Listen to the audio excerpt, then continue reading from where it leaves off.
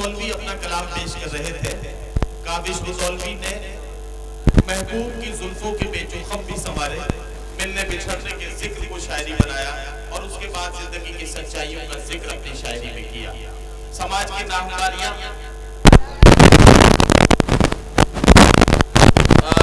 मोहतरम मंजूर खान साहब, चेयरमैन।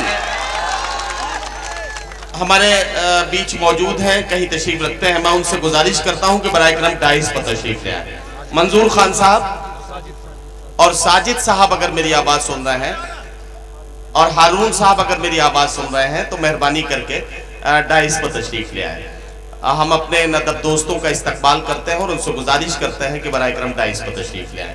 हज़रत ग्रामी काविश रुदौलवी ज़िंदगी की सच्चाइयों को आईना दिखा रहे थे और कौमी यकजहती के हवाले से उन्होंने बहुत से शेर पढ़े। मैं तो सिर्फ़ इतना कह सकता हूँ कि हवेली झोंपड़ी सबका मुकद्दर फूट जाएगा।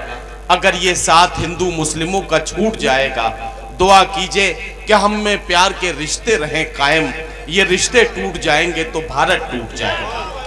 दोस्तों, बहुत खूबसूरत माहौल काविश रुदौलवी के कलाम से बना। लेकिन इस सफ़र को मैं आगे बढ़ाना चाहता हूँ। और इस बीच हमारी फहरिस्त में खूबसूरत इजाफा यह हुआ कि आप सबके चहेते शायर जनाब इमरान प्रताप गढ़ी डाइस पर तशरीफ़ ले आए। आप उन्हें आपने अपनी तालियों से उनका इस्तकबाल किया। अब चाहता हूँ कि अगले फनकार से आपकी मुलाकात कराऊं। मुझे ये कहने की इजाज़त मिलनी चाहिए कि मैं ये कहूँ कि बात हम इस तरह से भी अक्सर कहते हैं कि आग बहते हुए पानी में लगा सकता हूँ, चाँद तारे में तेरे वास्ते ला सकता हूँ मेरे महबूब अगर बात न मानी मेरी, मैं अकेले भी हनीमून को जा सकता हूँ। दोस्तों, ये तो बात हम लोग कहते हैं, लेकिन अगर कोई फनकार खातून है, कोई शायरा या कवित्री है, और वो भी अगर हास्य और व्यंग की कविताएँ करती है तो किस तरह से अपने महबूब का खैर खबर लेगी, किस तरह से अपने महबूब से बात करेगी, मैं चाहता हूँ कि सनम सुल्तानपुरी को आवाज़ दी जाए और उनसे गुजारिश की जाए कि वो अपने कलाम से नवाजें। सनम सुल्तानपुरी से मैं मुलतमस हूँ कि वो तशरीफ़ लाए।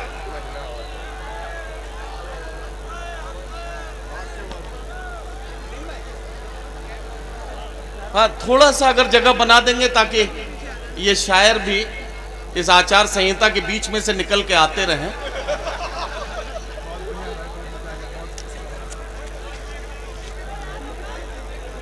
अरे भाई माइक वाले, या तो माइक को इनके बराबर कर दो या इन्हें माइक के बराबर कर दो।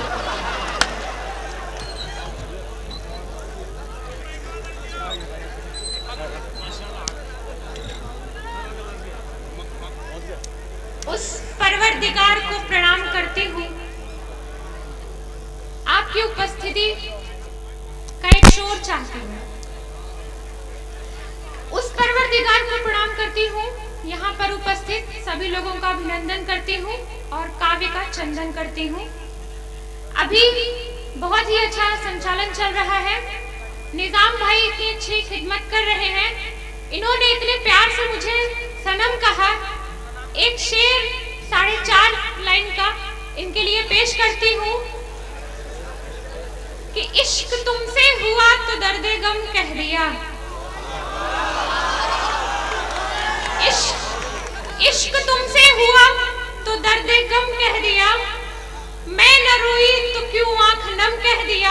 वाह इश्क तुमसे हुआ तो दर्द गम कह दिया। मैं न रोई तो क्यों आँख नम कह दिया? ज़िंदगी भर अब यही रहेगी खुशी कि भूल से तुमने मुझको सनम कह दिया। वाह वाह भाई क्या कहना आजकल अरे कमाल है आज पहली मुलाकात है और पहली मुलाकात में आप इतनी जल्दी खुल गई इससे बड़ी खुशी मेरे लिए कुछ नहीं हो सकती। है जब इश्क है तो इश्क का इजहार होना चाहिए। जी। लोग छुप कर करते मैं खुलेआम पब्लिक में करती होती हाँ हाँ बिल्कुल बिल्कुल करिए करिए। करती हूँ कि चली जाती है ब्यूटी पार्लर में यू। हाँ, हाँ। चली जाती है ब्यूटी पार्लर में यू। उसका मकसद है मिसाले हूर हो जाना। मगर ये बात किसी बेगम की समझ में क्यों नहीं आती? कि मुमकिन नहीं किशमिश का फिर से अंगूर हो जाना। वाह वाह वाह। आज आपकी समझ में आ गया होगा कि औरत की सबसे बड़ी दुश्मन औरत ही है। मैं तो ये समझ रहा था कि ये आएँगी तो मर्दों को निशाना बनाएँगे। इन्होंने भी आके औरतों को ही निशाना बनाया। इसका मतलब ये है कि ये बात सच्ची है कि औरत की सबसे बड़ी दुश्मन औरत है। मैंने तो सच्चाई को रखा है। मुझसे पहले यहाँ पर बड़े बड़े फनकार आए और गुजर गए। मैं उनकी आत्मा की शांति के लिए खुदा के शुक्रगुजार करती हूँ। यहाँ पर उपस्थित सभी शादीशुदा शौहरों को एवं उनकी बेगम सहित तथा नौजवान दोस्तों को भी एवं उनकी वो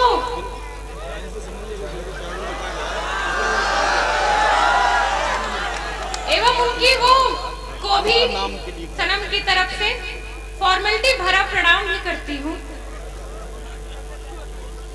एक नेता ने कहा अपनी पत्नी से,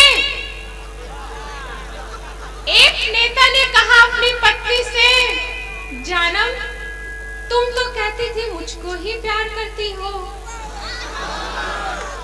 तुम तो कहती थी मुझको ही प्यार करती हो, सिर्फ़ मुझे पर मरती हो। तुम तो कहती थी सिर्फ़ मुझको ही प्यार करती हो सिर्फ़ मुझ पर ही मरती हो, लेकिन मैंने नहीं देखी आज तक तेरी जैसी लुगाई। चुनाव लड़ना हूँ मैं? वोट विपक्षी को नहीं आई। पत्नी ने कहा, मेरे प्यारे पतिदेव, मेरे नेता पतिदेव, मेरे भोले पतिदेव, मैं अपनी राहों में कांटे बोना नहीं चाहती। और तुम्हें वोट देकर मैं पाँच साल के लिए खोना नहीं चाहती। वाह वाह वाह। भाई क्या कहना वाह। और नौजवान दोस्तों का बहुत ही साथ दिख रहा है। तो दिल कर रहा है उनके लिए साढ़े चार पंक्तियाँ फेंक दूँ। जी जी पढ़िए। तो आप लोग लोग लीजिएगा उसको। कि रुकी हो रवानी तो किस काम की? रुकी हो रवानी तो किस काम की? हो आधी कहानी तो किस काम की? रुकी हो रवानी तो किस काम की? हो आधी कहानी तो किस काम की? न समझे बुढ़ापा तो किस काम का? न बहके जवानी तो किस काम वाह वाह। वाह वाह आज की आधुनिकता पर सवा चार लाइनें की बौछार करती हूँ। जी। दुआ चाहती हूँ कि यदि चीर खींचने को दुशासन आ गया चीर खींचने को दुशासन आ गया। आधुनिक नारी को देख पछताएगा। और जब चीर खींचने के लिए तन पर चीर ही ना हो तो दुशासन खड़ा खड़ा झुंझुना बजाएगा वाह। हमको देनी नहीं अब सफ़ाई लिख दो। हमको देनी नहीं अब सफ़ाई लिख दो। वक्त के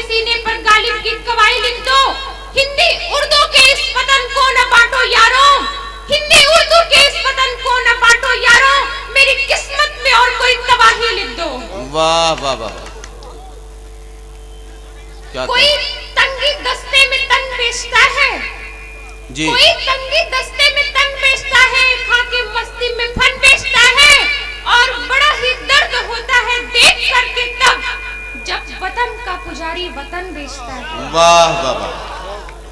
वाह वाह हमारे बीच में इमरान भाई बैठे हुए मैं उन्हें भी प्रणाम करती हूँ। और सभी जाने हुए चेहरों को भी प्रणाम करती हूँ। अनजाने चेहरों को बारंबार प्रणाम करती हूँ। अतीक भाई साहब बैठे हुए हैं। हमारे बीच में अंबर भाई साहब भी बैठे हुए हैं। मैं चाहती हूँ एक बार वो खड़े होकर अपनी सूरत दिखा दे। अंबर भाई साहब को देख लीजिए इतनी खूबसूरत इतना आप समझ लीजिए, इतना खूबसूरत चेहरा है कि इनको देखकर आजकल इनका ट्रेन में टिकट नहीं लगता है। लोग पहले ही समझ जाते हैं, उनके लिए दो पंक्तियाँ पढ़ती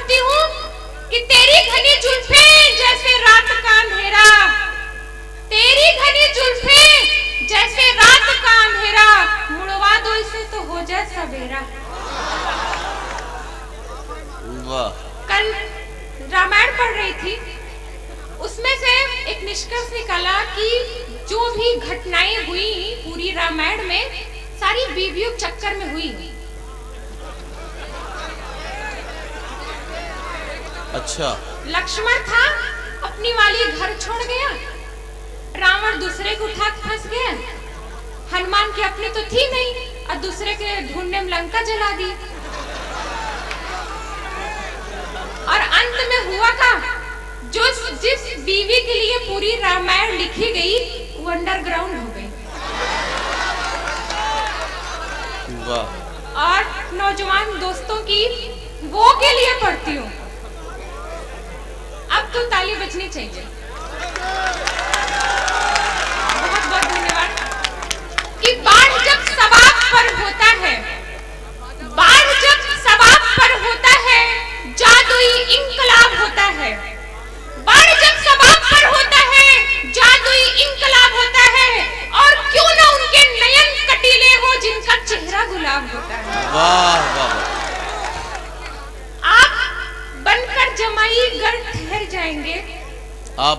जमाई। आप बनकर जमाई घर ठहर जाएँगे बीस जूता लगेगा सुधर जाएँगे। वाह।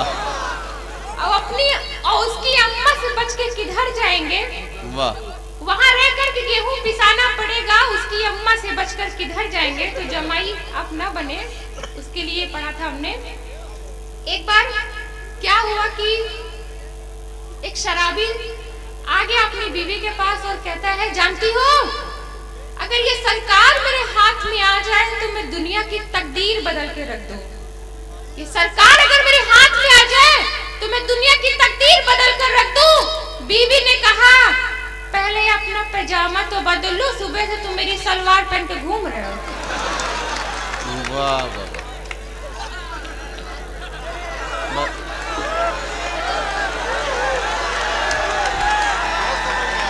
बहुत बहुत धन्यवाद अच्छा मैं जब खाना बनाने जाती हूँ किचन में तो एक बर्तन मुझे बहुत परेशान करता है। जी। मुझे क्या मेरी जैसी तमाम लड़कियों को कि एक पतिदेव जी बाज़ार से कुकर लाए एक पतिदेव जी बाज़ार से कुकर लाए पत्नी से बोले बड़े गुण धारता है ये खाना भी बनाता ठीक समय भी बचाता खूब कीमती ईंधन थोड़ा थोड़ा झाड़ता है ये। क्या कहना? पत्नी ने कहा दूर कीजिए इसे तुरंत देख कर मेरा तन मन जारता है ये। और इसका चरित्र मुझे लगता है ठीक नहीं। बहन बेटियों को रोज सीटी मारता है।